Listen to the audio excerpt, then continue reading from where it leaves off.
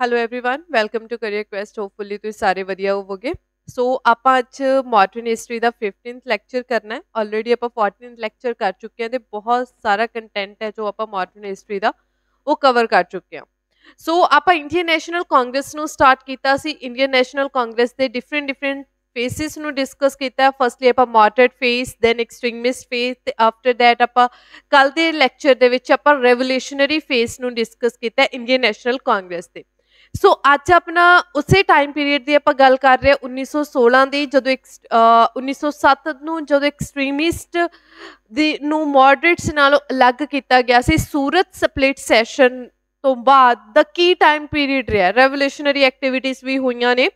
ਸੋ 1916 15 16 ਦੇ ਕਰੀਬ ਜੋ ਵੀ ਇੰਪੋਰਟੈਂਟ ਹਿਸਟੋਰੀਕਲ ਐਕਟੀਵਿਟੀਜ਼ ਹੋਈਆਂ ਨੇ ਉਹਨਾਂ ਨੂੰ ਆਪਾਂ ਅੱਜ ਕਵਰ ਕਰਾਂਗੇ ਫੋਰ ਐਗਜ਼ਾਮਪਲ ਜਿਵੇਂ ਹੋਮ ਰੂਲ ਲੀਗ ਮੂਵਮੈਂਟ ਬਣੀ ਸੀ ਲਖਨਊ ਪੈਕਟ ਆਇਆ ਸੀ ਅਗਸਤ ਆਫਰ ਆਇਆ ਸੀ ਸੋ ਇਹ ਜੋ ਐਗਜ਼ਾਮ ਪੁਆਇੰਟ ਆਫ View ਨਾਲ ਇੰਪੋਰਟੈਂਟ ਚੀਜ਼ਾਂ ਨੇ, ਉਹਨਾਂ ਨੂੰ ਡਿਸਕਸ ਕਰਾਂਗੇ। ਸੋ ਜਿਵੇਂ ਸਭ ਤੋਂ ਪਹਿਲਾਂ ਆਪਾਂ ਦੇਖਦੇ ਆ ਕਿ ਹੋਮ ਰੂਲ ਲੀਗ ਮੂਵਮੈਂਟ ਠੀਕ ਹੈ? ਜੋ ਹੋਮ ਰੂਲ ਮੂਵਮੈਂਟ ਸੀ, ਉਹ ਕਿਸ ਨੇ ਬਣਾਈ, ਕਿਵੇਂ ਬਣੀ, ਉਹ ਸਾਰੀ ਪੂਰੀ ਡਿਟੇਲ ਨੂੰ ਡਿਸਕਸ ਕਰਾਂਗੇ। ਕਿ ਹੋਮ ਰੂਲ ਮੂਵਮੈਂਟ ਹੈ ਕੀ ਸੀ? ਕਿਸ ਦੇ ਦੁਆਰਾ ਬਣਾਈ ਗਈ ਸੀ? ਕਿ ਇੱਕ ਬੰਦੇ ਨੇ ਬਣਾਈ ਸੀ, ਕਿ ਦੋ ਜਣਿਆਂ ਨੇ ਮਿਲ ਕੇ ਬਣਾਈ ਸੀ? ਤੇ ਉਸ ਦੇ ਜੋ ਹੋਮ ਰੂਲ ਮੂਵਮੈਂਟ ਬਣੀ ਸੀ ਉਸ ਦੇ ਡਿਊਰਿੰਗ ਪੀਰੀਅਡ ਕੀ ਕੀ ਐਕਟੀਵਿਟੀਜ਼ ਹੋਈਆਂ ਸੀ, ਕੀ ਉਹ ਸਕਸੈਸਫੁਲ ਹੋਈ ਸੀ, ਜਾਂ ਫਿਰ ਉਸ ਦੇ ਡਿਕਲਾਈਨ ਹੋਣ ਦੇ ਕਾਰਨ ਕੀ ਸਨ? ਸੋ ਉਹ ਪੂਰੀ ਡਿਟੇਲ ਨੂੰ ਅੱਜ ਦੀ ਵੀਡੀਓ ਦੇ ਵਿੱਚ ਆਪਾਂ ਕਵਰ ਕਰਾਂਗੇ। ਸਭ ਤੋਂ ਪਹਿਲਾਂ ਜੋ ਹੋਮ ਰੂਲ ਮੂਵਮੈਂਟ ਸੀ ਉਸ ਦੇ ਬਣਨ ਦੇ ਪਿੱਛੇ ਕਾਰਨ ਕੀ ਸਨ? ਉਸ ਦਾ ਬੈਕਗ੍ਰਾਉਂਡ ਕੀ ਸੀ ਹੋਮ ਰੂਲ ਲੀਗ ਮੂਵਮੈਂਟ ਦਾ? ਐਕਚੁਅਲ ਦੇ ਵਿੱਚ ਸਭ ਤੋਂ ਪਤਾ ਹੋਣਾ ਚਾਹੀਦਾ ਕਿ ਤੁਹਾਨੂੰ ਕਿ ਜੋ ਹੋਮ ਰੂਲ ਮੂਵਮੈਂਟ ਸੀ, ਉਹ 1916 ਦੇ ਵਿੱਚ ਬਣੀ ਸੀ। ਤਾਂ ਤੁਹਾਨੂੰ ਪਤਾ ਹੋਏਗਾ ਕਿ 1914 ਤੋਂ ਲੈ ਕੇ 1918 ਤੱਕ 1914 ਤੋਂ ਲੈ ਕੇ 1918 ਤੱਕ ਵਰਲਡ ਵਾਰ 1 ਚੱਲੀ ਹੈ। ਸੋ 1914 ਤੋਂ 1918 ਦਾ ਜੋ ਟਾਈਮ ਪੀਰੀਅਡ ਰਿਹਾ ਹੈ, ਉਹ ਵਰਲਡ ਵਾਰ 1 ਦਾ ਚੱਲਦਾ, ਚੱਲ ਰਿਹਾ ਸੀ। ਸੋ ਜੋ ਵਿਸ਼ਵ ਯੁੱਧ ਪਹਿਲਾ ਚੱਲ ਰਿਹਾ ਸੀ ਵਰਲਡ ਵਾਰ 1 ਚੱਲ ਰਹੀ ਸੀ, ਉਸ ਦੇ ਵਿੱਚ ਬ੍ਰਿਟਿਸ਼ਰਸ ਨੇ ਪਾਰਟਿਸਿਪੇਟ ਕੀਤਾ ਹੋਇਆ ਸੀ। ਥੈਟ ਮੀਨਸ ਇਨਡਾਇਰੈਕਟਲੀ ਉਸ ਦੇ ਵਿੱਚ ਇੰਡੀਅਨ ਪਾਰਟਿਸਿਪੇਟ ਕਰ ਰਹੇ ਸਨ ਵਰਲਡ ਵਾਰ 1 ਦੇ ਵਿੱਚ। ਸੋ ਵਰਲਡ ਵਾਰ 1 ਦੇ ਉੱਤੇ ਬਹੁਤ ਸਾਰਾ ਖਰਚਾ ਕਰ ਰਹੀ ਸੀ ਬ੍ਰਿਟਿਸ਼ ਸਰਕਾਰ, ਜਿਸ ਕਰਕੇ ਇੰਡੀਆ ਨੂੰ ਉਸ ਦਾ ਖਮਿਆਜਾ ਭੁਗਤਣਾ ਪੈ ਰਿਹਾ ਸੀ ਤੇ ਇੰਡੀਆ ਦੇ ਵਿੱਚ ਬਹੁਤ ਸਾਰੇ ਲੋਕ ਨੇ ਜੋ ਕੀ ਕਰ ਰਹੇ ਸਨ, ਭੁੱਖ ਦੇ ਨਾਲ ਮਾਰ ਰਹੇ ਸਨ। ਸੋ ਕਹਿੰਦੇ war time hardship common people ਕਹਿੰਦੇ, ਜਿਹੜਾ ਯੁੱਧ ਦਾ ਟਾਈਮ ਸੀ ਵਾਰ ਦਾ ਟਾਈਮ ਸੀ, ਉਸ ਸਮੇਂ ਜਿਹੜੇ ਲੋਕ ਕਾਮਨ ਪੀਪਲ ਸੀ, ਆਮ ਲੋਕ ਸੀ, ਉਹਨਾਂ ਨੇ ਬਹੁਤ ਜ਼ਿਆਦਾ ਸਫਰ ਕੀਤਾ ਸੀ। ਇਸ ਤੋਂ ਇਲਾਵਾ ਕਹਿੰਦੇ ਡੋਰਮੈਂਟ ਨੈਸ਼ਨਲਿਸਟ ਮੂਵਮੈਂਟ ਚੱਲੀ ਸੀ 1907 ਦੇ ਵਿੱਚ, ਇਸ ਤੋਂ ਇਲਾਵਾ 1907 ਦੇ ਵਿੱਚ ਜੋ ਸਾਡੇ ਤਿਲਕ ਸਨ। ਬਾਲ ਗੰਗਾਧਰ ਤਿਲਕ ਸੂਰਜ ਸਪਲਿਟ ਸੈਸ਼ਨ ਤੋਂ ਬਾਅਦ ਉਹਨਾਂ ਨੂੰ ਮੰਡੇਲਾ ਜੇਲ੍ਹ ਦੇ ਵਿੱਚ ਭੇਜ ਦਿੱਤਾ ਗਿਆ ਸੀ ਤੇ ਉਸ 1916 1914 ਦੇ ਕਰੀਬ ਉਹ ਆਪਣੀ ਜੇਲ੍ਹ, ਆਪਣੀ ਜੋ ਸਜ਼ਾ ਸੀ ਉਸ ਨੂੰ ਕੰਪਲੀਟ ਕਰਕੇ ਵਾਪਸ ਆ ਗਏ ਸਨ। 1907 ਦੇ ਵਿੱਚ ਉਹਨਾਂ ਨੂੰ 6 ਸਾਲ ਦੇ ਲਈ ਮੰਡੇਲਾ ਜੇਲ੍ਹ ਦੇ ਵਿੱਚ ਭੇਜਿਆ ਸੀ। ਤੇ 1914 ਦੇ ਵਿੱਚ ਉਹ ਵੀ ਆਪਣੀ ਜੋ ਸਜ਼ਾ ਸੀ, ਪੂਰੀ ਕਰਕੇ ਆ ਗਏ ਸਨ। ਇਸ ਤੋਂ ਇਲਾਵਾ ਕਹਿੰਦੇ Tilak's efforts to reunite and Congress support by the Annie Besant ਦੇਖੋ, ਇਹ ਸਾਰੇ ਕਾਰਨ ਨੇ, ਇਹ ਬੈਕਗ੍ਰਾਉਂਡ ਰਿਹਾ ਕਿਸ ਦੇ ਪਿੱਛੇ? ਹੋਮ ਰੂਲ ਮੂਵਮੈਂਟ ਦੇ ਬਣਨ ਦੇ ਪਿੱਛੇ। ਹੋਮ ਰੂਲ ਮੂਵਮੈਂਟ ਬਣਨ ਦੇ ਪਿੱਛੇ ਕਾਰਨ ਕੀ ਸੀ? ਦੇਖੋ 1914 ਤੋਂ ਲੈ ਕੇ 1918 ਤੱਕ ਵਿਸ਼ਵ ਦਾ ਪਹਿਲਾ ਯੁੱਧ ਚੱਲਦਾ ਰਿਹਾ, ਜਿਹਦੇ ਵਿੱਚ ਆਮ ਲੋਕਾਂ ਨੇ ਬਹੁਤ ਜ਼ਿਆਦਾ ਕਠਿਨ ਸਮਾਂ ਜੋ ਦੇਖਿਆ ਸੀ, ਲੋਕ ਤਰਸ ਰਹੇ ਸੀ ਰੋਟੀ ਵਾਸਤੇ ਵੀ। ਇਸ ਤੋਂ ਇਲਾਵਾ ਜੋ ਬਾਲ ਗੰਗਾਧਰ ਤਿਲਕ ਨੇ, ਉਹ ਵੀ ਆਪਣੀ ਸਜ਼ਾ ਕੱਟ ਕੇ ਵਾਪਸ ਆ ਚੁੱਕੇ ਸਨ 1914 ਤੱਕ। ਤਾਂ ਉਹਨਾਂ ਨੇ ਇਹ ਸੋਚਿਆ ਕਿ ਉਹ ਨਾ ਜੋ ਸਾਡੀ ਕਾਂਗਰਸ ਹੈ ਉਸ ਨੂੰ ਦੁਬਾਰਾ ਤੋਂ ਜੋੜਿਆ ਜਾਵੇ ਰੀਯੂਨਾਈਟ ਕੀਤਾ ਜਾਵੇ। ਕਿੰਨਾਂ ਨੂੰ ਜੋੜਨਾ ਸੀ ਕਾਂਗਰਸ ਦੇ ਵਿੱਚ? ਮੋਡਰੇਟ ਲੀਡਰਸ ਤੇ ਐਕਸਟ੍ਰੀਮਿਸਟ ਲੀਡਰ ਨੂੰ ਮਿਲ ਕੇ ਬ੍ਰਿਟਿਸ਼ ਸਰਕਾਰ ਦੇ ਅੱਗੇ ਖੜੇ ਹੋ ਸਕਣ। ਸੋ ਉਸ ਦੇ ਵਿੱਚ ਬਾਲ ਗੰਗਾਧਰ ਤਿਲਕ ਦਾ ਜੋ ਸਾਥ ਦਿੱਤਾ ਸੀ, ਉਹ ਦਿੱਤਾ ਸੀ ਐਨੀ ਬੀਸਨ ਨੇ। ਹੂ ਵਾਸ ਐਨੀ ਬੀਸਨ ਕੌਣ ਸੀ, ਉਸ ਦੇ ਵਿੱਚ ਵੀ ਆਪਾਂ ਪੂਰੀ ਡਿਟੇਲ ਦੇ ਵਿੱਚ ਕਵਰ ਕਰਾਂਗੇ। ਸੋ ਇਹ ਬੈਕਗ੍ਰਾਉਂਡ ਰਿਹਾ ਕਿਸ ਦਾ ਇੱਕ ਹੋਮ ਰੂਲ ਮੂਵਮੈਂਟ ਬਣਨ ਦਾ। ਸਭ ਲੋਕਾਂ ਨੇ ਮਿਲ ਕੇ ਹੋਮ ਰੂਲ ਮੂਵਮੈਂਟ ਸਟਾਰਟ ਕਰਨ ਦੀ ਸੋਚੀ ਸੀ। ਸੋ ਐਨੀ ਬੀਸੈਂਟ ਕੌਣ ਸਨ ਐਨੀ ਬੀਸੈਂਟ ਉਹ ਲੇਡੀ ਸਨ ਜਿਨ੍ਹਾਂ ਨੇ ਬਾਲ ਗੰਗਾਧਰ ਤਿਲਕ ਦੀ ਹੈਲਪ ਕੀਤੀ ਸੀ। ਕਿਸ ਨੂੰ ਰੀਯੂਨਾਈਟ ਕਰਨ ਤੇ ਕਾਂਗਰਸ ਨੂੰ ਰੀਯੂਨਾਈਟ ਕਰਨ ਦੇ? ਥੈਟ ਮੀਨਸ ਮੋਡਰੇਟਸ ਤੇ ਐਕਸਟ੍ਰੀਮਿਸਟ ਨੂੰ ਜੋੜਨ ਦੇ ਪਿੱਛੇ ਬਾਲ ਗੰਗਾਧਰ ਤਿਲਕ ਦੀ ਹੈਲਪ ਕੀਤੀ ਸੀ ਐਨੀ ਬੀਸੈਂਟ ਨੇ। ਤੇ ਐਨੀ ਬੀਸੈਂਟ ਇੱਕ ਉਹ ਲੇਡੀ ਸਨ ਜੋ 1980 ਸੌਰੀ 1893 ਦੇ ਵਿੱਚ ਇੰਡੀਆ ਦੇ ਵਿੱਚ ਆਏ ਸਨ। ਥੀਓਸੋਫੀਕਲ ਸੁਸਾਇਟੀ ਸੀ।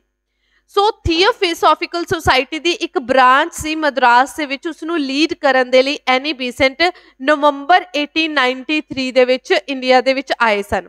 ਇਸ ਤੋਂ ਇਲਾਵਾ ਐਨੀ ਬੀਸੈਂਟ ਨੇ ਕੀ ਕੀਤਾ ਸੀ ਹੋਰ? ਉਸਨੇ Hindu college central Hindu college Banaras ਠੀਕ ਹੈ? ਬਨਾਰਸ ਦੇ ਵਿੱਚ ਹਿੰਦੂ ਕਾਲਜ ਸੀ ਜੋ ਸਟਾਰਟ ਇਸਟੈਬਲਿਸ਼ ਕੀਤਾ ਗਿਆ ਸੀ ਐਨੀ ਬੀਸੈਂਟ ਦੇ ਦੁਆਰਾ, ਜੋ ਬਾਅਦ ਦੇ ਵਿੱਚ ਬਨਾਰਸ ਹਿੰਦੂ ਯੂਨੀਵਰਸਿਟੀ ਦੇ ਨਾਮ ਨਾਲ ਫੇਮਸ ਹੋਇਆ ਸੀ। ਸੋ ਤੁਹਾਨੂੰ ਪਤਾ ਹੋਣਾ ਚਾਹੀਦਾ ਕਿ ਤੁਹਾਨੂੰ ਇਹ ਵੀ ਪੁੱਛਿਆ ਜਾ ਸਕਦਾ who was a founder of theosophical society so ਆਪਾਂ ਫਰਦਰ ਡਿਸਕਸ ਕਰਾਂਗੇ but Annie Besant was not a founder of Hindu sorry theosophical society ਉਧਰ ਥੀਓਸੋਫੀਕਲ ਸੁਸਾਇਟੀ ਦੀ ਬ੍ਰਾਂਚ ਨੂੰ ਲੀਡ ਕਰਨ ਆਏ ਸੀ, ਜੋ ਮਦਰਾਸ ਦੇ ਵਿੱਚ ਸਿਚੁਏਟਡ ਸੀ। ਇਸ ਤੋਂ ਇਲਾਵਾ ਉਹਨਾਂ ਨੇ ਬਨਾਰਸ ਦੇ ਵਿੱਚ ਇੱਕ ਕਾਲਜ ਇਸਟੈਬਲਿਸ਼ ਕੀਤਾ ਸੀ, ਜੋ ਬਾਅਦ ਦੇ ਵਿੱਚ ਹਿੰਦੂ ਬਨਾਰਸ ਯੂਨੀਵਰਸਿਟੀ ਦੇ ਨਾਮ ਨਾਲ ਫੇਮਸ ਹੋਇਆ ਸੀ। ਇਸ ਤੋਂ ਇਲਾਵਾ ਐਗਜ਼ਾਮ ਪੁਆਇੰਟ ਆਫ View ਨਾਲ ਇੱਕ ਪਰਸ਼ੀਅਨ ਵੀਮਨ ਸੀ ਤੇ ਇਸ ਤੋਂ ਇਲਾਵਾ ਉਹਨਾਂ ਨੇ ਇੱਕ ਕਾਮਨਵੀਲ ਨਿਊਜ਼ਪੇਪਰ ਸਟਾਰਟ ਕੀਤਾ ਸੀ। ਐਗਜ਼ਾਮ ਦੇ ਵਿੱਚ ਪੁੱਛਿਆ ਜਾਂਦਾ ਹੈ ਕਾਮਨਵੀਲ ਨਿਊਜ਼ਪੇਪਰ ਸਟਾਰਟ ਕੀਤਾ ਸੀ ਤੇ ਇੱਕ ਨਿਊ ਇੰਡੀਆ ਹੁਣ ਤੁਸੀਂ ਮੈਨੂੰ ਕਮੈਂਟ ਬਾਕਸ ਦੇ ਵਿੱਚ ਦੱਸਣਾ ਕਿ ਨੋ ਨਿਊ ਇੰਡੀਆ ਨਿਊਜ਼ਪੇਪਰ ਮੈਂ ਪਹਿਲਾਂ ਵੀ ਡਿਸਕਸ ਕਰਵਾ ਚੁੱਕੀ ਹੈ। ਕਿਸੇ ਹੋਰ ਪਰਸਨ ਨੇ ਵੀ ਨਿਊ ਇੰਡੀਆ ਜੋ ਨਿਊਜ਼ਪੇਪਰ ਸੀ, ਉਹ ਸਟਾਰਟ ਕੀਤਾ ਗਿਆ ਸੀ। ਇਸ ਤੋਂ ਇਲਾਵਾ ਇੱਕ ਕਾਮਨਵੀਲ ਤੇ ਦੂਸਰਾ ਨਿਊ ਇੰਡੀਆ ਨਿਊਜ਼ਪੇਪਰ ਸੀ, ਜੋ ਐਨੀ ਬੀਸੈਂਟ ਦੇ ਦੁਆਰਾ ਸਟਾਰਟ ਕੀਤੇ ਗਏ ਸਨ। ਇਸ ਤੋਂ ਇਲਾਵਾ in 1917 Besant started the women's Indian association 1917 ਦੇ ਵਿੱਚ ਐਨੀ ਬੀਸਨ ਨੇ ਇੱਕ ਕੀ ਸਟਾਰਟ ਕੀਤੀ ਸੀ? ਵੀਮਨਸ ਇੰਡੀਅਨ ਐਸੋਸੀਏਸ਼ਨ ਸਟਾਰਟ ਕੀਤੀ ਸੀ। ਸੋ ਇਹ ਤੁਸੀਂ ਯਾਦ ਰੱਖਣਾ 1917 ਦੇ ਵਿੱਚ ਪਹਿਲੀ ਲੇਡੀ ਹੋਏ ਨੇ ਇੰਡੀ, ਆਪਣੇ ਐਨੀ ਬੀਸੈਂਟ ਜੋ ਇੰਡੀਅਨ ਨੈਸ਼ਨਲ ਕਾਂਗਰਸ ਦੇ ਪ੍ਰੈਜ਼ੀਡੈਂਟ ਵੀ ਬਣੇ ਸਨ। ਇਹ ਵੀ ਤੁਸੀਂ ਲਿਖ ਲੈਣਾ ਕਿ 1917 ਦੇ ਵਿੱਚ ਇੰਡੀਅਨ ਨੈਸ਼ਨਲ ਕਾਂਗਰਸ ਦੀ ਪਹਿਲੀ ਲੇਡੀ ਕੌਣ ਸੀ ਜੋ ਪ੍ਰੈਜ਼ੀਡੈਂਟ ਬਣੀ ਸੀ? That was a Annie Besant. In 1932, she was made honorary commissioner for India. Besant also uh, participation in Indian political matters and joined the Indian National Congress. ਦੇਖੋ ਜੋ ਸਾਡੇ ਐਨੀ ਬਿਸਨ ਨੇ ਉਹ 1893 1893 ਦੇ ਵਿੱਚ ਇੰਡੀਆ ਦੇ ਵਿੱਚ ਆਉਂਦੇ ਨੇ ਉਸ ਤੋਂ ਬਾਅਦ ਉਹ ਆਂਦੇ ਤਾਂ ਥੀਓਸੋਫੀਕਲ ਸੁਸਾਇਟੀ ਨੂੰ ਲੀਡ ਕਰਨ ਸੀ। ਆਫਟਰ ਥੈਟ ਹੌਲੀ ਹੌਲੀ ਉਹ ਇੰਡੀਆ ਦੇ ਪੋਲਿਟਿਕਸ ਇੰਡੀਆ ਦੇ ਰਾਜਨੀਤਿਕ ਕੰਮਾਂ ਦੇ ਵਿੱਚ ਕੀ ਆਪਣਾ ਰੁਝਾਨ ਪੈਦਾ ਕਰ ਲੈਂਦੇ ਨੇ ਤੇ ਉਸ ਦੇ ਵਿੱਚ ਪਾਰਟਿਸਿਪੇਟ ਕਰਨਾ ਸ਼ੁਰੂ ਕਰ ਦਿੰਦੇ ਨੇ। ਹੌਲੇ ਹੌਲੇ ਉਹਨਾਂ ਨੇ ਕੀ ਕਰ ਲਿਆ ਸੀ? ਇੰਡੀਅਨ ਨੈਸ਼ਨਲ ਕਾਂਗਰਸ ਨੂੰ ਜੁਆਇਨ ਕਰ ਲਿਆ ਸੀ। ਸੋ ਉਹ ਕੀ ਸੀ? ਇੰਡੀਅਨਸ ਦੇ ਹੱਕ, ਉਹਨਾਂ ਨੂੰ ਦਿਖ ਰਿਹਾ ਸੀ ਕਿ ਇੰਡੀਅਨਸ ਨੂੰ ਕਿਸ ਤਰੀਕੇ ਦੇ ਨਾਲ ਐਕਸਪਲੋਇਟ ਕੀਤਾ ਜਾ ਰਿਹਾ ਹੈ। ਤਾਂ ਉਹ ਵੀ ਇੰਡੀਅਨਸ ਦੇ ਹੱਕਾਂ ਦੇ ਲਈ ਲੜਨਾ ਚਾਹੁੰਦੇ ਸਨ, ਉਹ ਸੀ ਐਨੀ ਬੀਸਨ ਇਸ ਤੋਂ ਇਲਾਵਾ ਇਨ ਇਨ In year 1916, Besant uh, flung open the all India Home Rule League movement Lokmanya Tilak ਕਹਿੰਦੇ 1916 ਇਹ ਦੇਖੋ ਇਹ ਹਾਈਲਾਈਟਡ ਪੁਆਇੰਟ ਕੀਤੇ ਨੇ ਮੈਂ ਐਨੀ ਬੀਸੈਂਟ ਦੇ ਜੋ ਐਗਜ਼ਾਮ ਦੇ ਵਿੱਚ ਪੁੱਛੇ ਜਾਂਦੇ ਨੇ। ਥੀਓਸਾਫੀਕਲ ਸੁਸਾਇਟੀ ਨੂੰ ਲੀਡ ਕਰਨ ਆਏ ਸਨ। ਹੌਲੀ ਹੌਲੀ ਇੰਡੀਆ ਦੀ ਪੋਲਿਟਿਕਸ ਦੇ ਵਿੱਚ ਰੁਝਾਨ ਪੈਦਾ ਹੋ ਗਿਆ। ਆਫਟਰ ਥੈਟ ਉਹਨਾਂ ਨੇ ਕੀ ਕੀਤਾ ਸੀ? ਆ ਦੋ ਤਰੀਕੇ ਦੇ ਨਿਊਜ਼ਪੇਪਰ ਸਟਾਰਟ ਕੀਤੇ ਸੀ 1914 ਦੇ ਵਿੱਚ, ਇੰਡੀਆ ਦੇ ਵਿੱਚ ਉਹਨਾਂ ਨੇ ਇੰਡੀਅਨ ਨੈਸ਼ਨਲ ਕਾਂਗਰਸ ਨੂੰ ਜੁਆਇਨ ਕਰ ਲਿਆ ਸੀ। ਇਸ ਤੋਂ ਇਲਾਵਾ ਉਹਨਾਂ ਨੇ ਹੋਮ ਰੂਲ ਮੂਵਮੈਂਟ 1916 ਦੇ ਵਿੱਚ ਸਟਾਰਟ ਕੀਤੀ ਸੀ, ਬਾਲ ਗੰਗਾਧਰ ਤਿਲਕ ਦੇ ਨਾਲ ਮਿਲ ਕੇ। ਤੇ 1917 ਨੂੰ Besant was arrested for a participating in Indian political matter ਤੇ 1917 ਦੇ ਵਿੱਚ ਸਾਡੇ ਜੋ ਐਨੀ ਬੀਸੈਂਟ ਸਨ, ਉਹਨਾਂ ਨੂੰ ਅਰੈਸਟ ਕਰ ਲਿਆ ਗਿਆ ਸੀ। ਕਿਉਂਕਿ ਉਹ ਇੰਡੀਆ ਦੀ ਪੋਲਿਟਿਕਸ ਇੰਡੀਆ ਦੀ ਰਾਜਨੀਤਿਕ ਦੇ ਵਿੱਚ ਕੀ ਕਰਦੇ ਸਨ ਇੰਟਰਫੇਰੈਂਸ ਕਰ ਰਹੇ ਸਨ it said that the prison Beeson disobediently flew a red and green flag. In 1915, Congress session Bombay, Annie Beeson secured for extremist and right to rejoin the Congress. So ਇਹ ਲਾਈਨ ਦੇਖਣੀ ਹੈ ਹੁਣ ਆਪਾਂ ਇਹ ਤਾਂ ਦੇਖੋ ਹੋਮ ਰੂਲ ਮੂਵਮੈਂਟ ਆਪਣੀ ਲੱਗ ਤੋਂ ਰਹਿ ਗਈ ਇਸ ਤੋਂ ਇਲਾਵਾ ਮੈਂ ਤੁਹਾਨੂੰ ਦੱਸਿਆ ਕਿ ਐਨੀ ਬੀਸਨ ਦੀ ਜੋ ਲਾਈਫ ਦੀ ਸਟੋਰੀ ਕੀ ਸੀ? ਕੀ ਕੀ ਉਹਨਾਂ ਨੇ ਇੰਡੀਆ ਦੇ ਵਿੱਚ ਕੀਤਾ ਸੀ? ਸੋ ਹੁੰਦਾ ਕੀ ਹੈ, ਆਪਾਂ ਆਪਣੀ ਦੁਬਾਰਾ ਟੌਪਿਕ ਤੇ ਉੱਥੇ ਜਾਣੇ ਹੋਮ ਰੂਲ ਮੂਵਮੈਂਟ ਤੇ। ਹੁੰਦਾ ਕੀ ਹੈ ਕਿ ਬਾਲ ਗੰਗਾਧਰ ਤਿਲਕ ਵੀ 1914 ਦੇ ਵਿੱਚ ਆਪਣੀ ਸਜ਼ਾ ਨੂੰ ਪੂਰਾ ਕਰਕੇ ਵਾਪਸ ਆ ਗਏ ਸਨ। ਸੋ ਬਾਲ ਗੰਗਾਧਰ ਤਿਲਕ ਤੇ ਐਨੀ ਬੀਸਨ ਨੇ ਮਿਲ ਕੇ ਇਹ ਸੋਚਿਆ ਸੀ ਕਿ ਅਸੀਂ ਕੀ ਕਰਾਂਗੇ? ਅਸੀਂ ਇੰਡੀਆ ਨੈਸ਼ਨਲ ਕਾਂਗਰਸ ਨੂੰ ਰੀਯੂਨਾਈਟ ਕਰਾਂਗੇ। ਅਸੀਂ ਐਕਸਟ੍ਰੀਮਿਸਟ ਤੇ ਮੋਡਰੇਟਸ ਨੂੰ ਮਿਲ ਕੇ ਬੈਠਣ ਲਈ ਇੰਡੀਆ ਦੇ ਵਿੱਚ ਇੰਡੀਅਨ ਨੈਸ਼ਨਲ ਕਾਂਗਰਸ ਦੇ ਵਿੱਚ ਮਿਲ ਕੇ ਬੈਠਣ ਲਈ ਪ੍ਰਸਾਤਿਤ ਕਰਾਂਗੇ ਜਾਂ ਉਤਸ਼ਾਹਿਤ ਕਰਾਂਗੇ। ਸੋ ਜਿਸ ਕਰਕੇ 1915 ਦੇ ਵਿੱਚ ਇੱਕ ਸੈਸ਼ਨ ਹੋਇਆ ਸੀ ਇੰਡੀਅਨ ਨੈਸ਼ਨਲ ਕਾਂਗਰਸ ਦਾ ਬੰਬੇ ਦੇ ਵਿੱਚ। ਉਸ ਦੇ ਵਿੱਚ ਐਨੀ ਬੀਸਨ ਨੇ ਐਕਸਟ੍ਰੀਮਿਸਟ ਦਾ ਪੱਖ ਪੂਰਿਆ ਸੀ, ਤਾਂ ਜੋ ਮੋਡਰੇਟ ਲੀਡਰ ਤੇ ਐਕਸਟ੍ਰੀਮਿਸਟ ਇਕੱਠੇ ਹੋ ਕੇ ਇੰਡੀਅਨ ਨੈਸ਼ਨਲ ਕਾਂਗਰਸ ਦੇ ਵਿੱਚ ਬੈਠ ਸਕਣ। ਸੋ ਉਸ ਤੋਂ ਬਾਅਦ ਕੀ ਹੁੰਦਾ ਜੀ? ਕਹਿੰਦੇ ਉਸ ਤੋਂ ਬਾਅਦ ਜੋ ਐਨੀ ਬੀਸਨ ਨੇ 1915 ਦੇ ਵਿੱਚ ਉਸ ਬੰਬੇ ਸੈਸ਼ਨ ਦੇ ਵਿੱਚ ਰੀਯੂਨਾਈਟ ਕਰਨ ਦੀ ਕੋਸ਼ਿਸ਼ ਕੀਤੀ ਗਈ ਸੀ ਐਕਸਟ੍ਰੀਮਿਸਟ ਤੇ ਮੋਡਰੇਟਸ ਨੂੰ ਐਨੀ ਬੀਸਨ ਦੇ ਵੱਲੋਂ। ਸੋ ਉਸ ਤੋਂ ਬਾਅਦ ਜੋ ਸਾਡੇ ਐਨੀ ਬੀਸਨ ਸੀ ਤੇ ਬਾਲ ਗੰਗਾਧਰ ਤਿਲਕ ਸੀ, ਉਹਨਾਂ ਨੇ ਮਿਲ ਕੇ ਇੱਕ ਮੂਵਮੈਂਟ ਚਲਾਉਣ ਦੀ ਕੋਸ਼ਿਸ਼ ਕੀਤੀ ਤਾਂ ਜੋ ਇੰਡੀਅਨਸ ਨੂੰ ਫ੍ਰੀडम ਦਿਵਾਈ ਜਾ ਸਕੇ, ਜਿਸ ਦਾ ਨਾਮ ਸੀ ਹੋਮ ਰੂਲ ਮੂਵਮੈਂਟ ਸੋ ਆਪਾਂ ਦੇਖਾਂਗੇ ਕਿ ਮੇਜਰ ਗੋਲ ਕੀ ਸਨ ਇਸ ਮੂਵਮੈਂਟ ਨੂੰ ਚਲਾਉਣ ਦੇ ਮੇਜਰ ਏਮ ਕੀ ਸਨ? ਠੀਕ ਹੈ? ਕਿ ਉਹ ਰਿਜ਼ਲਟ ਕੀ ਕੱਢਣਾ ਚਾਹੁੰਦੇ ਸਨ? ਕੀ ਗੋਲ ਅਚੀਵ ਕਰਨਾ ਚਾਹੁੰਦੇ ਸਨ? ਕਹਿੰਦੇ ਸੈਲਫ ਗਵਰਨਮੈਂਟ ਇਨ ਇੰਡੀਆ ਪਹਿਲਾ ਗੋਲ ਸੀ ਹੋਮ ਰੂਲ ਮੂਵਮੈਂਟ ਨੂੰ ਚਲਾਉਣ ਦਾ ਕਿ ਇੰਡੀਆ ਦੇ ਵਿੱਚ ਸੈਲਫ ਗਵਰਨਮੈਂਟ ਲੈ ਕੇ ਆਈ ਜਾਵੇ। ਥੈਟ ਮੀਨਸ ਇੰਡੀਆ ਦੀ ਸਰਕਾਰ ਨੂੰ ਇੰਡੀਅਨਸ ਹੀ ਚਲਾਉਣ। ਨੈਕਸਟ ਕਹਿੰਦੇ ਪ੍ਰੋਮੋਸ਼ਨ ਆਫ ਪੋਲਿਟੀਕਲ ਐਜੂਕੇਸ਼ਨ ਤਾਂ ਜੋ ਇੰਡੀਆ ਦੇ ਲੋਕਾਂ ਨੂੰ ਜਿਨ੍ਹਾਂ ਨੂੰ ਇੰਡੀਆ ਦੀ ਰਾਜਨੀਤੀ ਬਾਰੇ ਬਿਲਕੁਲ ਨੌਲੇਜ ਨਹੀਂ ਹੈ ਇੰਡੀਅਨਸ ਨੂੰ ਇੰਡੀਆ ਦੀ ਰਾਜਨੀਤੀ ਬਾਰੇ ਅਵੇਅਰ ਕੀਤਾ ਜਾਵੇ ਪੋਲਿਟਿਕਸ ਬਾਰੇ ਅਵੇਅਰ ਕੀਤਾ ਜਾਵੇ।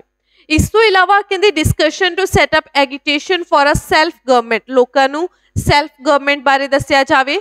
Next to re reinstate confidence among Indians to speak against a governments policies ਤੇ ਇਸ ਤੋਂ ਇਲਾਵਾ ਲੋਕਾਂ ਦੇ ਅੰਦਰ ਇੱਕ ਐਵੇਂ ਦਾ ਕੌਨਫੀਡੈਂਸ ਆਤਮ ਵਿਸ਼ਵਾਸ ਦੀ ਭਾਵਨਾ ਨੂੰ ਜਗਾਇਆ ਜਾ ਸਕੇ, ਤਾਂ ਜੋ ਉਹ ਜੋ ਸਰਕਾਰ ਗਲਤ ਪਾਲਿਸੀਜ਼ ਬਣਾਉਂਦੀ ਹੈ ਇੰਡੀਅਨਸ ਦੇ ਲਈ, ਉਹਨਾਂ ਦੇ ਅਗੇਂਸਟ ਉਹਨਾਂ ਦੇ ਵਿਰੁੱਧ ਇੰਡੀਅਨਸ ਨੇ ਜੋ ਬੋਲ ਸਕਣ। ਇਸ ਤੋਂ ਇਲਾਵਾ larger political representation India Indians in the British government ਤਾਂ ਜੋ ਬ੍ਰਿਟਿਸ਼ ਗਵਰਨਮੈਂਟ ਦੇ ਵਿੱਚ ਜੋ ਇੰਡੀਆ ਲਈ ਚਲਾਈ ਜਾਂਦੀ ਹੈ, ਉਸ ਦੇ ਵਿੱਚ ਵੱਧ ਤੋਂ ਵੱਧ ਇੰਡੀਅਨਸ ਨੂੰ ਭਰਤੀ ਕੀਤਾ ਜਾਵੇ। ਇਸ ਤੋਂ ਇਲਾਵਾ ਇੰਡੀਆ ਦੇ ਵਿੱਚ ਅਲੱਗ-ਅਲੱਗ ਤਰੀਕੇ ਦੀਆਂ ਪੋਲਿਟੀਕਲ ਐਕਟੀਵਿਟੀਆਂ ਨੂੰ ਚਲਾਇਆ ਜਾਵੇ ਸੇ ਸੋ ਮੇਨ ਜੋ ਇੱਕ ਏਮ ਸੀ, ਜੋ ਮੇਨ ਗੋਲ ਸੀ ਦੇਖਿਆ ਜਾਵੇ, ਤਾਂ ਇੰਡੀਅਨਸ ਨੂੰ ਪੋਲਿਟੀਕਲ ਐਕਟੀਵਿਟੀਆਂ ਬਾਰੇ ਥੋੜਾ ਅਵੇਅਰ ਕਰਨਾ ਤੇ ਇੰਡੀਅਨਸ ਦੇ ਇੰਡੀਆ ਦੇ ਵਿੱਚ ਸੈਲਫ ਗਵਰਨਮੈਂਟ ਨੂੰ ਲੈ ਕੇ ਆਉਣਾ, ਜਿਸ ਕਰਕੇ ਇਹ ਜੋ ਮੂਵਮੈਂਟ ਸੀ, ਉਹ ਚਲਾਈ ਗਈ ਸੀ। ਕਿਸੇ ਦੁਆਰਾ? ਬਾਲ ਗੰਗਾਧਰ ਤਿਲਕ ਤੇ ਐਨੀ ਬਿਸਨ ਦੇ ਦੁਆਰਾ ਸੋਚਿਆ ਗਿਆ ਸੀ ਕਿ ਇਸ ਮੂਵਮੈਂਟ ਨੂੰ ਸਟਾਰਟ ਕੀਤਾ ਜਾਵੇ। ਨੈਕਸਟ ਆਪਾਂ ਦੇਖਦੇ ਹਾਂ ਕਿ ਕਹਿੰਦੇ foundation of home rule movement ਕਹਿੰਦੇ ਜਿਹੜੀ ਹੋਮ ਰੂਲ ਮੂਵਮੈਂਟ ਸੀ ਇਹ ਕਦੋਂ ਫਾਊਂਡ ਕੀਤੀ ਗਈ ਸੀ? ਸੋ ਮੈਂ ਸਿੰਪਲੀ ਤੁਹਾਨੂੰ ਦੱਸ ਦੇਣਾ ਚਾਹੁੰਦੀ ਆ ਕਿ 1916 ਦੇ ਵਿੱਚ ਸੀ ਜੋ ਹੋਮ ਰੂਲ ਮੂਵਮੈਂਟ ਸਟਾਰਟ ਕੀਤੀ ਗਈ ਸੀ। 1918 ਤੱਕ ਇਹਦਾ ਟਾਈਮ ਪੀਰੀਅਡ ਚੱਲਿਆ। ਉਸ ਤੋਂ ਬਾਅਦ 1920 ਦੇ ਵਿੱਚ ਜੋ ਨਾਨ ਕੋਆਪਰੇਸ਼ਨ ਮੂਵਮੈਂਟ ਹੈ, ਗਾਂਧੀ ਜੀ ਨੇ ਚਲਾਈ ਸੀ, ਉਸ ਦੇ ਵਿੱਚ ਉਹਨਾਂ ਨੇ ਇਸੇ ਹੋਮ ਰੂਲ ਮੂਵਮੈਂਟ ਨੂੰ ਯੂਜ਼ ਕੀਤਾ ਸੀ। So home rule movement start ਕਦੋਂ ਕੀਤੀ ਗਈ ਸੀ? 1916 ਦੇ ਵਿੱਚ ਹੋਮ ਰੂਲ ਮੂਵਮੈਂਟ ਸਟਾਰਟ ਕੀਤੀ ਗਈ ਸੀ। ਇਸ ਦੇ ਫਾਊਂਡਰ ਕੌਣ ਸਨ? ਐਗਜ਼ਾਮ ਦੇ ਵਿੱਚ ਇਹਨਾਂ ਦੇ ਫਾਊਂਡਰ ਬਾਰੇ ਪੁੱਛਿਆ ਜਾਂਦਾ ਹੈ। ਇਹਦੇ ਦੋ ਫਾਊਂਡਰ ਸਨ ਹੋਮ ਰੂਲ ਮੂਵਮੈਂਟ ਦੇ, ਇੱਕ ਤਾਂ ਸੀ ਜੀ ਬਾਲ ਗੰਗਾਧਰ ਤਿਲਕ ਤੇ ਦੂਸਰੇ ਸਨ ਐਨੀ ਬੀਸਨ ਫਿਰ ਇਹ ਅਮਿੱਥ ਜਿਹੀਆਂ ਕਹਾਣੀਆਂ ਹੀ ਨੇ, ਕੋਈ ਐਕਚੁਅਲ ਸਬੂਤ ਨਹੀਂ ਹੈ ਕਿ home rule movement Annie Besant ਤੇ ਸਾਡੇ ਬਾਲ ਗੰਗਾਧਰ ਤਿਲਕ ਦੋਨਾਂ ਦੇ ਦੁਆਰਾ ਅਲੱਗ-ਅਲੱਗ ਕਿਉਂ ਚਲਾਈ ਗਈ ਸੀ? ਇਹਦੇ ਪਿੱਛੇ ਰੀਜ਼ਨ ਇਹ ਸੀ ਕਿ ਐਨੀ ਬੀਸੈਂਟ ਤੇ ਬਾਲ ਗੰਗਾਧਰ ਤਿਲਕ ਦੇ ਜਿਹੜੇ ਫਾਲੋਅਰ ਸਨ ਉਹ ਇੱਕ ਦੂਜੇ ਨੂੰ ਮਤਲਬ ਜੋ ਐਨੀ ਬੀਸੈਂਟ ਦੇ ਫਾਲੋਅਰ ਸਨ ਉਹ ਬਾਲ ਗੰਗਾਧਰ ਤਿਲਕ ਨੂੰ ਨਹੀਂ ਸੀ ਪਸੰਦ ਕਰਦੇ ਤੇ ਜੋ ਬਾਲ ਗੰਗਾਧਰ ਤਿਲਕ ਦੇ ਫਾਲੋਅਰ ਸਨ ਉਹ ਐਨੀ ਬੀਸੈਂਟ ਨੂੰ ਨਹੀਂ ਸੀ ਪਸੰਦ ਕਰਦੇ। ਸੋ ਦੈਟਸ ਵਾਈ ਉਹਨਾਂ ਨੇ ਆਪਣੀ ਆਪਣੀ ਜੋ ਹੋਮ ਰੂਲ ਮੂਵਮੈਂਟ ਹੈ ਉਸ ਨੂੰ ਸਟਾਰਟ ਕਰਨ ਦੀ ਕੋਸ਼ਿਸ਼ ਕੀਤੀ ਸੀ ਜਾਂ ਚਲਾਈ ਸੀ। ਸੋ ਸਭ ਤੋਂ ਪਹਿਲਾਂ ਚਲਾਈ ਗਈ ਹੋਮ ਰੂਲ ਮੂਵਮੈਂਟ April 1916 ਦੇ ਵਿੱਚ ਬਾਲ ਗੰਗਾਧਰ ਤਿਲਕ ਜੀ ਦੇ ਦੁਆਰਾ। ਤੇ ਐਨੀ ਬੀਸੈਂਟ ਨੇ ਇਸ ਮੂਵਮੈਂਟ ਨੂੰ ਸਟਾਰਟ ਕੀਤਾ ਸੀ ਸੈਪਟੈਂਬਰ 1916 ਦੇ ਵਿੱਚ। ਕਹਿੰਦੇ while Tilak league worked in areas so ਜਿਹੜੀ ਬਾਲ ਗੰਗਾਧਰ ਤਿਲਕ ਦੀ ਜਿਹੜੀ ਹੋਮ ਰੂਲ ਮੂਵਮੈਂਟ ਸੀ, ਉਹ ਕੁਝ ਕੁ ਪਾਰਟ ਇੰਡੀਆ ਦੇ ਵਿੱਚ, ਕੁਝ ਕੁ ਪਾਰਟ ਦੇ ਵਿੱਚ ਕੰਮ ਕਰਦੀ ਸੀ, ਜਿਵੇਂ ਮਹਾਰਾਸ਼ਟਰਾ ਬੰਬੇ ਨੂੰ ਛੱਡ ਕੇ Karnataka central provinces and Bihar ਤੇ ਬਾਕੀ ਜਿੰਨਾ ਇੰਡੀਆ ਰਹਿ ਗਿਆ ਸੀ, ਉਸ ਦੇ ਵਿੱਚ ਹੋਮ ਰੂਲ ਮੂਵਮੈਂਟ ਚੱਲਦੀ ਸੀ ਐਨੀ Besant the. The member of the servant of Indian society were not allowed to join the movement. ਕਹਿੰਦੇ ਜਿਹੜੇ servant member of servant of Indian society ਸਨ, ਉਹ ਅਲਾਉਡ ਨਹੀਂ ਸਨ ਇਸ ਰੂਲ ਮੂਵਮੈਂਟ ਦੇ ਵਿੱਚ ਪਾਰਟਿਸਿਪੇਟ ਕਰਨ ਦੇ ਲਈ। ਸੋ ਇਸ ਤੋਂ ਇਲਾਵਾ ਤੁਹਾਨੂੰ ਪਤਾ ਹੋਣਾ ਚਾਹੀਦਾ ਹੈ ਕਿ ਜੋ ਆਪਣੇ ਬਾਲ ਗੰਗਾਧਰ ਤਿਲਕ ਦੀ ਜਿਹੜੀ ਮੂਵਮੈਂਟ ਸੀ, ਉਸ ਦੇ ਵਿੱਚ ਜਿਹੜਾ ਮੇਨ ਕੰਮ ਸੀ, ਉਹ ਬਾਲ ਗੰਗਾਧਰ ਤਿਲਕ ਦੇ ਦੁਆਰਾ ਕੀਤਾ ਜਾਂਦਾ ਸੀ। ਇਤੀ ਬਾਲ ਗੰਗਾਧਰ ਤਿਲਕ ਦੀ ਮੂਵਮੈਂਟ ਦੀਆਂ ਹਾਰਡਲੀ 6 ਬ੍ਰਾਂਚੇਸ ਸਨ। 6 ਬ੍ਰਾਂਚੇਸ ਹਨ। ਔਨ ਦਾ ਅਦਰ ਹੈਂਡ ਅਗਰ ਆਪਾਂ ਐਨੀ ਬੀਸੈਂਟ ਦੀ ਹੋਮ ਰੂਲ ਮੂਵਮੈਂਟ ਦੀ ਗੱਲ ਕਰੀਏ, ਜੋ ਸਪਟੰਬਰ 1916 ਦੇ ਵਿੱਚ ਚਲਾਈ ਸੀ, ਉਸ ਦੀਆਂ ਮੋਰ ਦੈਨ 300 ਬ੍ਰਾਂਚੇਸ ਸਨ ਮੋਰ ਦੈਨ 300 300 ਤੋਂ ਵੀ ਜ਼ਿਆਦਾ ਬ੍ਰਾਂਚੇਸ ਸਨ ਰੀਜ਼ਨ ਕੀ ਸੀ? ਕਿਉਂਕਿ ਜੋ ਐਨੀ ਬੀਸੈਂਟ ਦੀ ਦੁਆਰਾ ਚਲਾਈ ਗਈ ਹੋਮ ਰੂਲ ਮੂਵਮੈਂਟ ਸੀ, ਉਸ ਦੇ ਵਿੱਚ ਕੋਈ ਵੀ ਤਿੰਨ ਮੈਂਬਰ ਠੀਕ ਹੈ? ਐਨੀ 3 ਮੈਂਬਰਸ ਮਿਲ ਕੇ ਇਸ ਮੂਵਮੈਂਟ ਨੂੰ ਜੁਆਇਨ ਕਰ ਲੈਂਦੇ ਸੀ ਜਾਂ ਆਪਣੀ ਬ੍ਰਾਂਚ ਬਣਾ ਲੈਂਦੇ ਸੀ। ਸੋ ਬਾਲ ਗੰਗਾਧਰ ਤਿਲਕ ਦੇ ਦੁਆਰਾ ਚਲਾਈ ਗਈ ਹੋਮ ਰੂਲ ਮੂਵਮੈਂਟ ਦੀਆਂ ਮੋਰ ਦੈਨ 2 অর 300 ਬ੍ਰਾਂਚੇਸ ਸਨ ਔਨ ਦਾ ਅਦਰ ਹੈਂਡ ਜੋ ਸਾਡੇ ਸੌਰੀ ਬਾਲ ਗੰਗਾਧਰ ਤਿਲਕ ਦੀਆਂ ਜਸਟ 6 ਬ੍ਰਾਂਚੇਸ ਸਨ ਹੋਮ ਰੂਲ ਮੂਵਮੈਂਟ ਦੀਆਂ। On the other hand Annie Besant ਦੀਆਂ ਮੋਰ ਦੈਨ 300 ਬ੍ਰਾਂਚੇਸ ਸਨ ਹੋਮ ਰੂਲ ਮੂਵਮੈਂਟ ਦੀਆਂ। ਸੋ ਉਸੇ ਸਮੇਂ ਦੇ ਵਿੱਚ ਇੱਕ ਲਖਨਊ ਸੈਸ਼ਨ ਜਾਂ ਲਖਨਊ ਪੈਕਟ ਸਾਈਨ ਕੀਤਾ ਗਿਆ ਸੀ। ਐਗਜ਼ਾਮ ਦੇ ਵਿੱਚ ਪੁੱਛ ਲਿਆ ਜਾਂਦਾ ਹੈ ਕੁਐਸਚਨ ਐਗਜ਼ਾਮੀਨਰ ਵੱਲ ਪੁੱਛਿਆ ਜਾਂਦਾ ਹੈ ਕਿ Cripps mission home rule movement quit India movement ਇਹਨਾਂ ਨੂੰ sequence wise arrange Lucknow pact ਕਦੋਂ ਸਾਈਨ ਹੋਇਆ ਸੀ ਸੀਕੁਐਂਸ ਵਾਈਜ਼ ਅਰੇਂਜ ਕਰਨ ਨੂੰ ਪੁੱਛਿਆ ਜਾਂਦਾ ਹੈ। ਸੋ ਇਹ ਕੁਐਸਚਨ ਮੇਨਸ ਪਟਵਾਰੀ ਦੇ ਵਿੱਚ ਆਇਆ ਸੀ।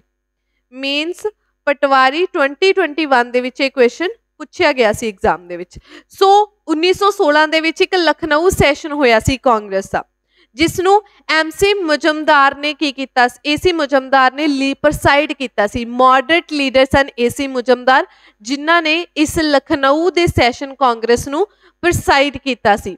ਇਸ ਦੇ ਵਿੱਚ ਜੋ ਐਕਸਟ੍ਰੀਮਿਸਟ ਸਨ, ਉਹਨਾਂ ਨੂੰ ਗਰਮ ਦਲ ਨੂੰ ਬਾਲ ਗੰਗਾਧਰ ਤਿਲਕ ਦੇ ਦੁਆਰਾ ਲੀਡ ਕੀਤਾ ਗਿਆ ਸੀ ਤੇ ਉਹਨਾਂ ਨੇ ਵੈਲਕਮ ਕੀਤਾ ਸੀ ਕਾਂਗਰਸ ਦੇ ਵਿੱਚ ਵਾਪਸ ਆਉਣ ਦਾ ਐਕਸਟ੍ਰੀਮਿਸਟ ਦਾ। ਇਸ ਤੋਂ ਇਲਾਵਾ ਕਹਿੰਦੇ ਤਿਲਕ, ਬੀਸੈਂਟ ਐਂਡ ਐਕਚੁਅਲ ਦੇ ਵਿੱਚ ਇਹ ਜੋ ਲਖਨਊ ਸੈਸ਼ਨ ਇੰਪੋਰਟੈਂਟ ਕਿਉਂ ਹੁੰਦਾ 1916 ਦੇ ਵਿੱਚ ਜੋ ਲਖਨਊ ਸੈਸ਼ਨ ਹੋਇਆ ਸੀ, ਪਹਿਲਾਂ ਪਤਾ ਹੋਣਾ ਚਾਹੀਦਾ ਕਿ ਲਖਨਊ ਸੈਸ਼ਨ ਹੋਇਆ ਕਿ ਉਦੋਂ ਸੀ 1916 ਦੇ ਵਿੱਚ ਹੋਇਆ ਸੀ। ਏਸੀ ਮੁਜਮਦਾਰ ਨੇ ਇਸ ਨੂੰ ਪ੍ਰੈਸਾਈਡ ਕੀਤਾ ਸੀ।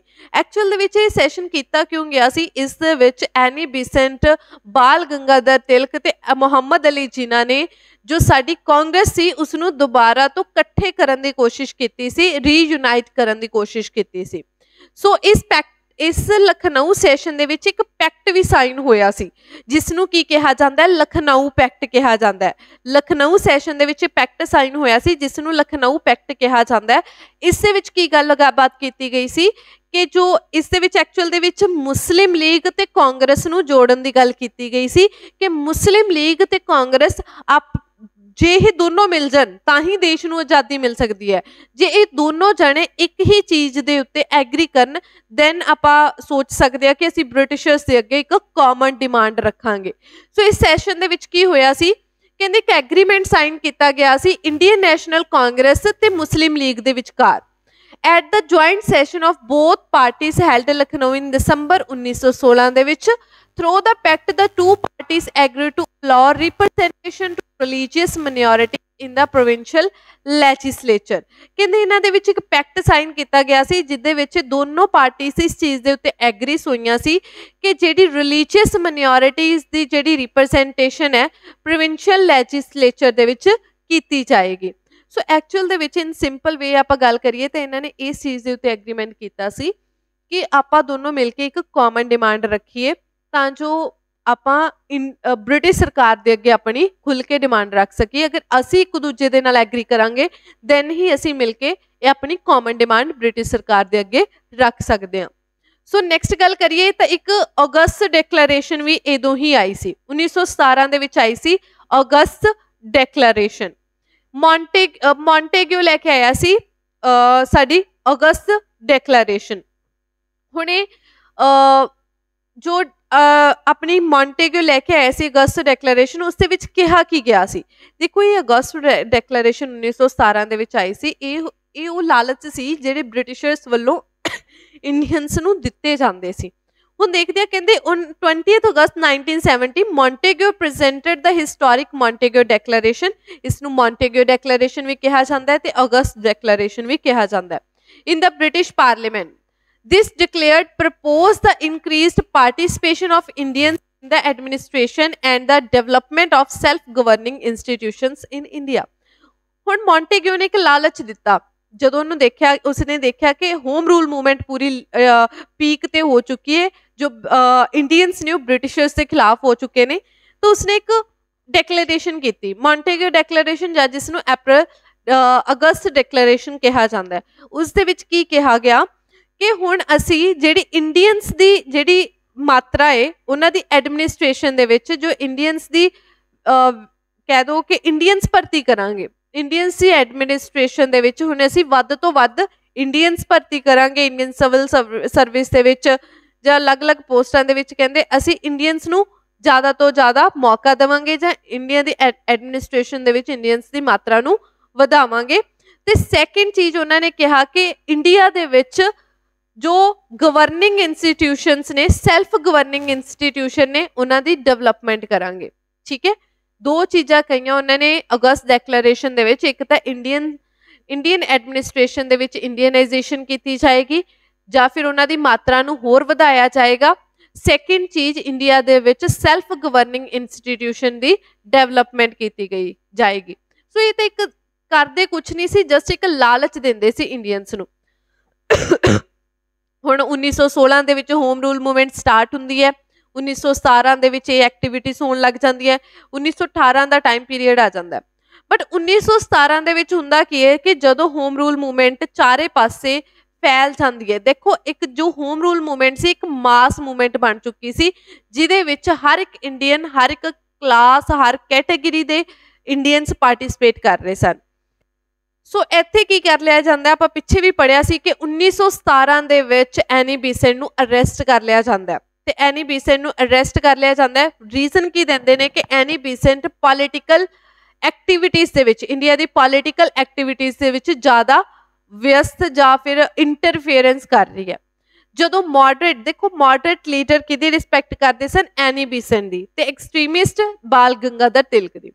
ਸੋ ਐਨੀ ਬੀਸਨ ਨੂੰ ਛਡਾਉਣ ਦੇ ਲਈ ਮੋਡਰੇਟਸ ਬ੍ਰਿਟਿਸ਼ਰਸ ਨੂੰ ਕਹਿੰਦੇ ਨੇ ਕਿ ਐਨੀ ਬੀਸਨ ਨੂੰ ਛੱਡਿਆ ਜਾਵੇ।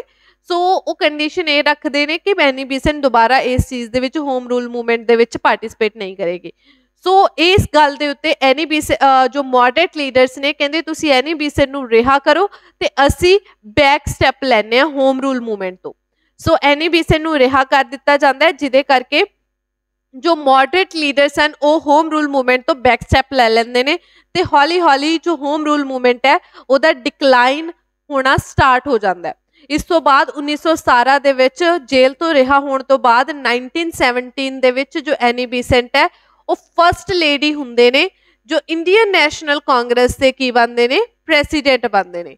ਇੰਡੀਅਨ ਨੈਸ਼ਨਲ ਕਾਂਗਰਸ ਦੇ ਪ੍ਰੈਜ਼ੀਡੈਂਟ ਬਣਦੇ ਨੇ।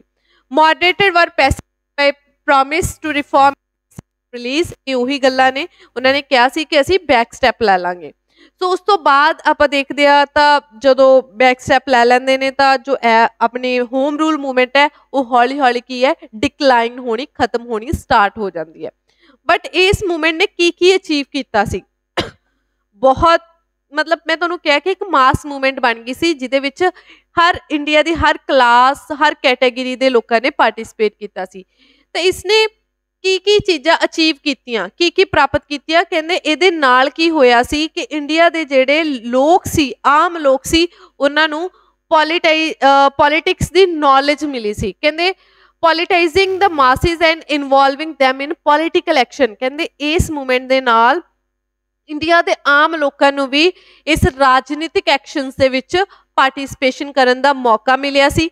ਇਸ ਦੇ ਨਾਲ ਪੂਰੇ ਭਾਰਤ ਦੇ ਵਿੱਚ ਇੱਕ ਆਈਡੀਆ ਪਪੂਲਰਾਈਜ਼ ਹੋਇਆ ਸੀ ਕਿਹੜਾ ਸੀ ਹੋਮ ਰੂਲ ਠੀਕ ਹੈ? ਮਤਲਬ ਸਾਡਾ ਘਰ ਰੂਲ ਕਰੇਗਾ। ਹੋਮ ਰੂਲ ਦਾ ਜਿਹੜਾ ਆਈਡੀਆ ਸੀ ਉਹ ਪੂਰੀ ਇੰਡੀਆ ਦੇ ਵਿੱਚ ਪਪੂਲਰ ਹੋ ਚੁੱਕਿਆ ਸੀ। ਇਸ ਤੋਂ ਇਲਾਵਾ 올 ਇੰਡੀਆ ਆਰਗੇਨਾਈਜੇਸ਼ਨਲ ਨੈਟਵਰਕ ਦੇਖੋ ਇਹਦੇ ਵਿੱਚ ਕੀ ਕਿਹਾ ਮੇਨ ਚੀਜ਼ ਹੋਮ ਰੂਲ ਮੂਵਮੈਂਟ ਦੇ ਵਿੱਚ ਰੱਖੀ ਗਈ ਸੀ ਕਿ ਇਹ ਇਸ ਨੂੰ ਇੱਕ ਮਾਸ ਮੂਵਮੈਂਟ ਬਣਾਉਣਾ ਤਾਂ ਜੋ ਹਰ ਇੱਕ ਇੰਡੀਆ ਦਾ, ਹਰ ਆਮ ਲੋਕ ਵੀ ਇਸ ਦੇ ਵਿੱਚ ਪਾਰਟਿਸਿਪੇਟ ਕਰੇ।